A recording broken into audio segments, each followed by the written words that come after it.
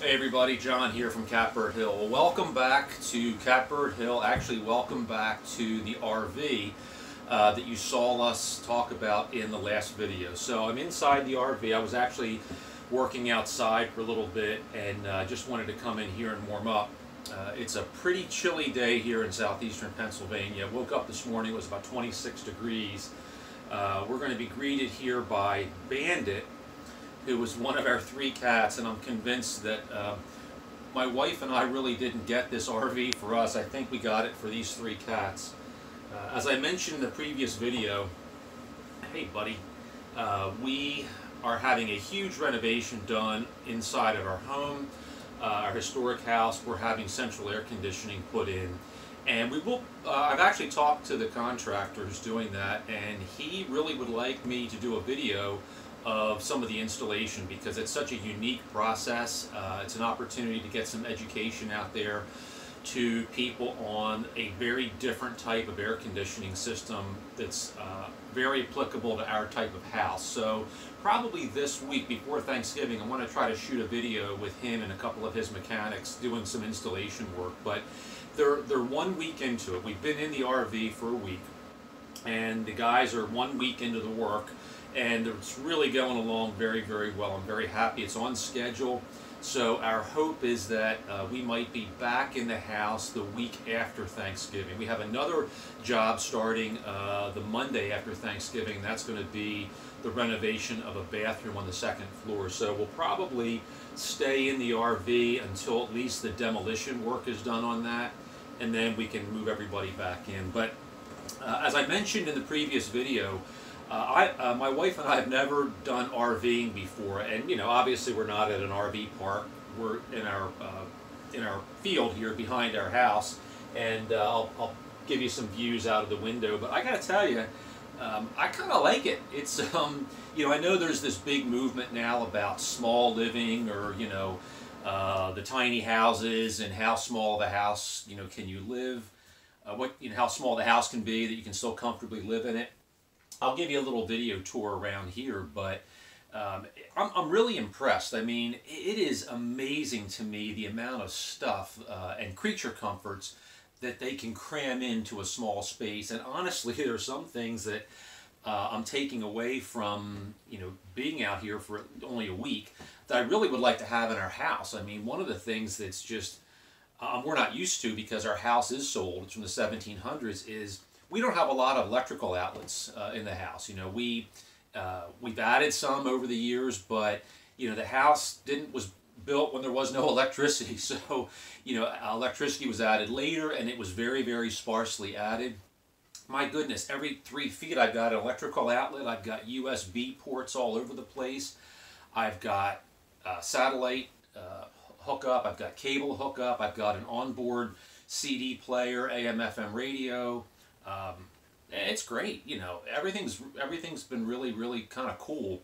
Uh, it's been a fun experience. The sleeping uh, is a little little challenging. Uh, I'm six foot two. Uh, we got a queen size bed. I basically fill up the bedroom from the, the, end wall to the head wall. I mean, I have no room to move, so that's taken a little getting used to. But other than that, it's really nice. It's a it's been a great place to work. Beth had uh, to work from home one day this week, and I, and I work from home a, a, few hours each day. Um, if I, you know, when I when I go into the office, I'm usually not in an office all day long, or I'm going between offices. So I try to get a few hours of work done each day. And I tell you, this is this is like working in your backyard. It's really really nice. But let's do a little tour around here. I think you'll get an idea. how this uh, RV is actually more for the cats than anything. So there you can kind of see that's our view. You know, that's our our back the back of our field. Um, just a really nice place to to sit and work. And there's Mr. Bandit. You know, th these guys have been in seventh heaven because they've got all these windows, and we have tons of deer that that you know roam around back here, and they've been going nuts. So, uh, little bathroom, you know, right here. It's got a little shower. It's nice. Uh, that is our oldest cat, that's Mr. Olive, or we call him Ollie. We actually thought he was a girl when we adopted him years ago, and you know, we took him to the vet, and vet picked him up and poked it and prodded him and said, "Not nah, neutered male." So he he went from uh, from Olive uh, to Mr. Olive and now Short Ollie. So he is 20 years old. He's the senior guy. But basically, we just took the cushions, the mattresses out of these bunk bed areas and made it like a sleeping area for them. Uh, got a nice little storage closet right here, fridge, propane gas range, oven, nice kitchen island. Actually, I mean, sometimes I feel like I've got more space in this kitchen than we have in ours. Um, there's our entertainment center, nice little flat screen TV. There's all the electronics I was talking about. Control panel that tells us what's going on in the RV at any given time, you know, the amount of water we have and, and that sort of thing. Um, our bedroom is tucked back here. It's kind of nice. Um, there's our uh, bed that I just fit into like into a shoebox, but it's good. It's fine. It's very comfortable. And uh, sofa here, you know, where you can hang out. This actually does fold out into a bed. We've got some, obviously, again, you know, those blankets aren't for us. Those are for the kiddies. Um, the main, one of the main reasons we did get the RV for these guys. Uh, I mean, my gosh, you know, how could how could you not just love that little guy there? Um, you know, we, you know, we've learned over the years that for big projects, they just don't tolerate a lot of noise and banging, and you know, we've got every door and window pretty much opened up in the house, and there's just too many chances that they're going to get out. They're in, they're indoor cats.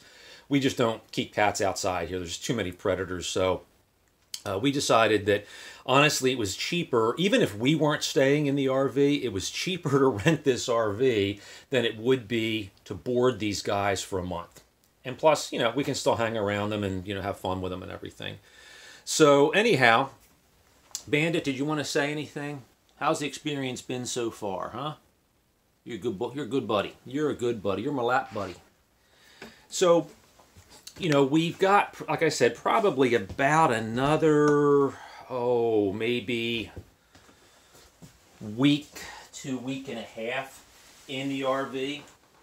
And, um, you know, it's, it's, it's worked out really well. It's been very convenient. As I mentioned in the previous video, you know, when you're doing a project to the scale that we're doing, and you'll see it, you know, in the next video we shoot, hopefully, um, we'll get, uh, we'll get the guys to show some of the work they're doing uh, there are there are always questions. You know, every day there are questions about you know, what do you think? You know, are you okay with us doing this? Do you want us to do it this way? Have you thought about? So you know, me being here, at least us being accessible, either me or my wife, uh, the contractors have access to us. It's it's easy. Rather than you know playing phone tag and oh you know I'm not home I got to wait till I get home to look at what you're talking about we can make the decisions in the moment, and it's really made the project, I think, go a lot smoother for both us and and for our contractors. So, thanks for watching. This was kind of a, a, a different video, um, but I wanted everybody to see how nice this RV is. And if you've never if you've never done an RV before, um, you know, take a look at it. I mean, it's actually a pretty cool thing. You know, I think. Um, we're definitely going to do this again. We have other big projects that are going to require we be out of the house. Uh, at least two more major projects probably within the next five years where we're going to have to be out of the house. At least that's our plan. And we're definitely going to rent another one. This is just, this has been great. We might do it in warmer weather though. Um, that's the only thing that's a little, and I guess it's just typical for the way these things are built, but the heat works great. I mean, the, the it gets really comfy, but the heat's very uneven. You know, it, it, heats up and then it gets cold. It gets cooler and then it heats up again. So it's not a real even heat. But honestly, if that's the worst thing, that's not a bad thing at all. So anyhow, this is John and Bandit from Catbird Hill. Uh, thanking everybody for watching. Please continue to uh, uh, share our videos. Give us thumbs up. Uh, please subscribe if you haven't done so. And until next time, take care. Say goodbye, Bandit. Say goodbye, buddy. You good boy. All right.